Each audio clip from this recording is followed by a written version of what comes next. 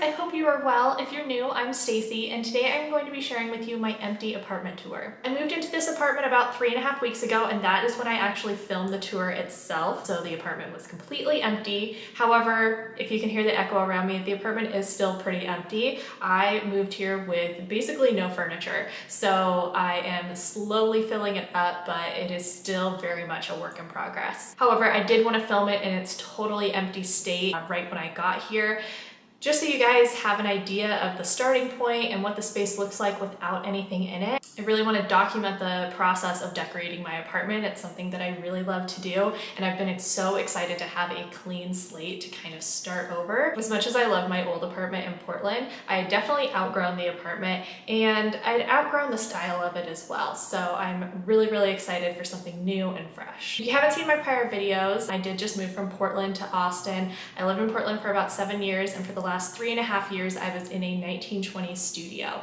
full of vintage touches, built-in cabinets, original wood floors, uh, old fixtures, that kind of thing. And what it lacked in modern amenities and space, it made up for in charm. My new apartment is a complete 180 from that. So like I said, I just moved to Austin. I'm also working full-time remote. I kept my old job, so I am going to be continuing on working from home. So having space for a workspace was really important to me. My new apartment is a new build. I think they finished it at the end of 2019, so only one other tenant has lived in here worlds away from the probably dozens of tenants who occupied my old apartment prior to me. It is a one bedroom apartment. It's got a balcony. It has kind of a separate dining area, which I'm using as an office. That's where I'm sitting right now. And it even faces the opposite direction. My old apartment faced east, so I got sunsets every morning. This apartment faces northwest, so as you can see, the setting sun is shining right through the windows. All right, that sun is shining through super bright, so I am going to jump right into the tour. All right, so here it is the front door, obviously where you come into the apartment. To the side is this little kind of, it's very shallow, but like a little nook um, entry area. There's like a small shelf here. You can put keys or something um, and enough room here for like a little console table.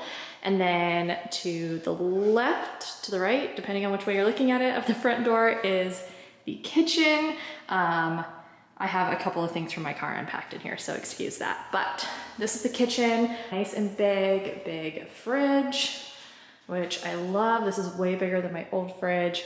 Um, I love the white countertops and the like faux marble backsplash, regular like flat top electric range and microwave um, above that.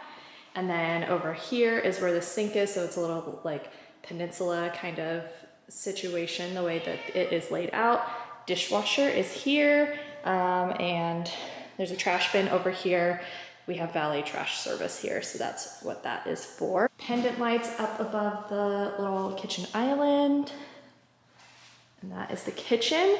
Just past the kitchen, you come into the living area, which is nice and big. Ceiling fan up here. I love the floors. It's kind of like gray toned without being too gray. I don't know, I think it's a nice neutral color. And then it's really nice here on the other side of the kitchen island. Um, this comes out a little bit.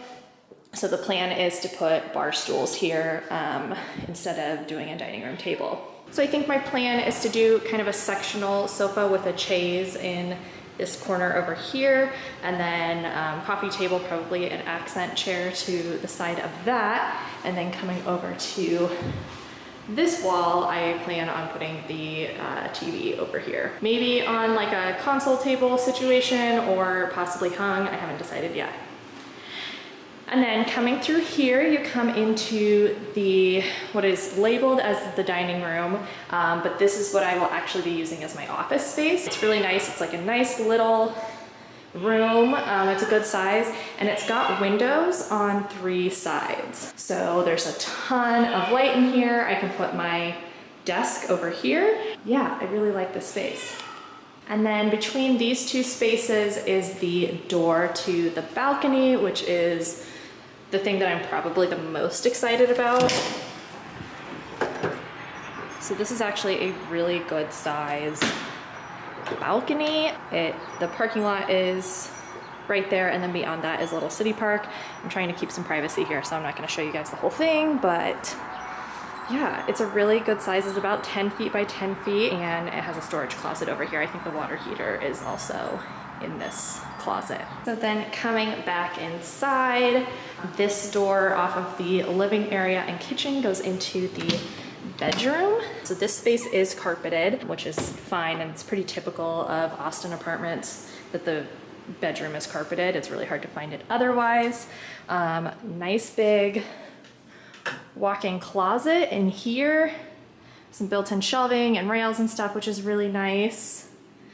And then kind of coming around to the right of the bedroom door is this built-in bookshelf, which I think is kind of a cool little touch. And past that, you come into the bedroom. I kind of like that there is a little bit of separation from the living space into the bedroom. So even if my bedroom door was open, if people were over, you can't see like directly into the bedroom. Bedroom is a pretty good size. I mean, I'm not used to even having a separate bedroom, so this is fantastic. Again, these windows are so nice because they go almost all the way to the floor. They're huge, so they do let in a lot of light. And then another ceiling fan. And then this door over here leads into the bathroom, which is really nice. And let me see if I can figure out how to turn off this fan. All right, so the fan comes on automatic. Oh no, it's not the fan, it's the air conditioning. I'm not used to having this. So yes, from the bedroom into the bathroom, there is a little linen closet right as you walk in, which is nice and big and spacious. And then uh, countertop with two sinks, which I don't need, but I will take. This cabinet door is open because Maya was hiding in there earlier, but tons of storage down here and then really big mirror up top, which I love. And as you can see behind me is where the shower and tub are. This space is really nice. Uh, it's got the white tiles, which I love. And it's a very deep tub, but it's also not too long. So my last tub was really long, which I'm not a very tall person, so it was kind of difficult to sit in. So this looks like it'll be kind of a perfect size for a bath. Toilet is over on that side. There's towel bar up here. Love it. And then there's a door on this side of the bathroom that goes back out into the main living space. So if you can see, front door is here. If you go to the right, it takes you into the bathroom. This closet here is for the washer and dryer. Sorry, it's a little dark, but we're working with what we got right now. So washer and dryer are in here. I haven't had my own washer and dryer in a very long time, so I'm very excited about this. And lots of storage up above. And then around on the other side behind me is a little coat closet, which Maya needs to explore right this second. And the thermostat is here. Again, I haven't even had a thermostat in years and years and years, so I'm very excited about that and then back out into the kitchen and living area. Oh, and there's also another coat closet, linen closet, pantry maybe. Um, I don't know what I'll use it for yet, but that is in here. Thank you so much for watching this video. If you enjoyed it, I'd love it if you gave it a thumbs up. And make sure you hit the subscribe button if you want to see how this apartment evolves, how I decorate it, and a little sneak peek into my life here in Austin. I will see you guys in the next one. Bye.